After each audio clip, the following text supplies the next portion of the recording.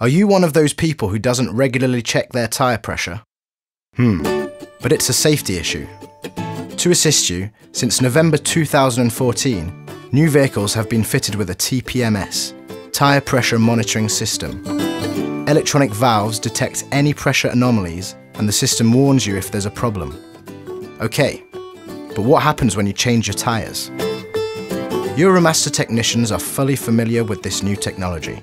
When you come to us, systematic diagnosis is used to check your tyre pressure, the condition of your electronic valves, and that they are working properly.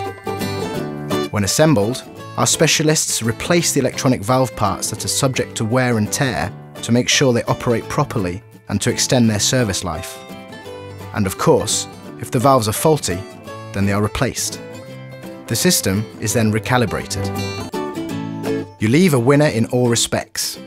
You'll pay less as your tyres last longer and you use less fuel. It's also more eco-friendly. And above all, you'll be driving more safely. Road holding and braking are optimised and the risk of aquaplaning is reduced. Euromaster wishes you a safe journey. And don't forget that our experts advise that you should have your electronic valves checked every time you change your tyres. With Euromaster, you're in good hands.